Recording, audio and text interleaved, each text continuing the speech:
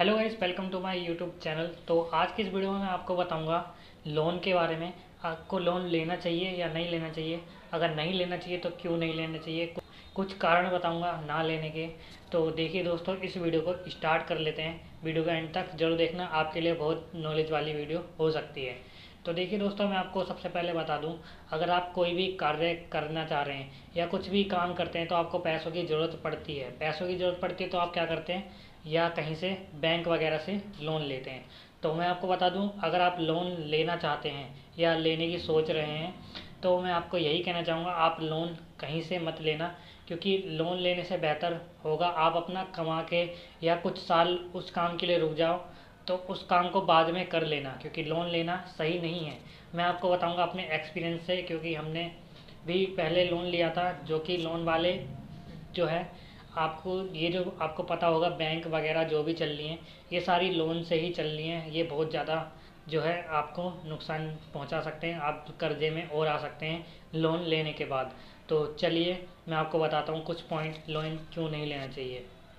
तो देखिए दोस्तों, जब भी आप लोन लेने जाते हैं तो लोन वाले आपको लालच देते हैं। कि इतने का लोन ले लो, आपके नाम पे इतने का लोन हम दे रहे हैं। और लोन लेने के कुछ हिडन चार्जेस होते हैं, वो आपको नहीं बताए जाते। और सर, कम से कम ईएमआई करके ज़्यादा से ज़्यादा इंटरेस्ट रेट लगा के आपको देते हैं, जो कि आपको ज़्यादातर आप इन चीज़ों को पता ढंग से नहीं करते।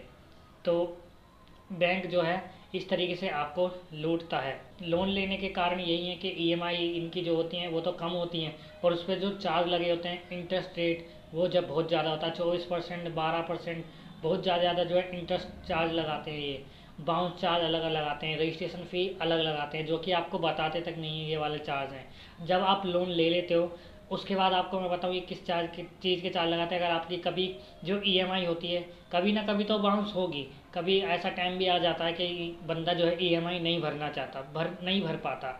और बैंक इसी चीज़ का इंतज़ार करता है कि बंदा ईएमआई ना भरे और आप उस पर चार्ज लगाएँ। जब ईएमआई बंदा नहीं भर पाता तो उस पर किस चीज़ के चार्ज लगाते हैं? Bounce charge.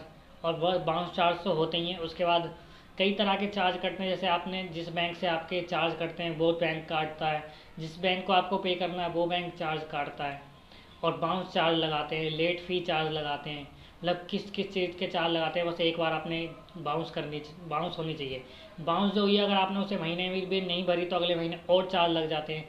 कई तरह के चार्ज लगाते हैं लोन ले लोन देने वाले बैंक जो होते हैं। अगर आप ईएमआई नहीं भर पाते एक मंथ भी तो ये बार बार फ़ोन करते हैं।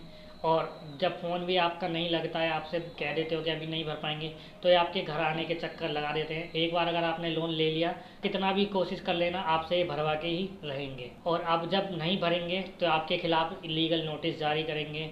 फिर आपको कोर्ट में केस लड़ना पड़ेगा इनके खिलाफ़, और इसमें आपका ही नुकसान हो सकता है। और ये एक लाख के लोन के कम से कम आपसे दो लाख या डेढ़ डेढ़, दो लाख रुपए आपसे भरवा लेते हैं। तो मैं तो आपसे यही कहना चाहूँगा, आप लोन ना लें, क्योंकि बैंक वाले इसी चीज़ से चल रहे हैं। आपको लोन देकर ही जो है ये पैसा कमा रहे हैं।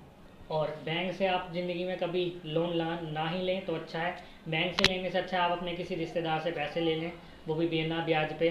तो बैंक से लोन लेने की गलती कभी मत करना, क्योंकि ये आपके जो है, अगर एक लाख का आप लोन लेते हो तो दो तीन लाख रुपये आपसे भरवा लेंगे। बस इस वीडियो में आपको मैं यही बताना चाहता था लोन ना लें। लोन लेने के बहुत सारे आपके नुकसान हैं। मतलब एक लाख के दो लाख रुपए भरने पड़ सकते हैं और आप पे और कर्जा भी हो सकता है।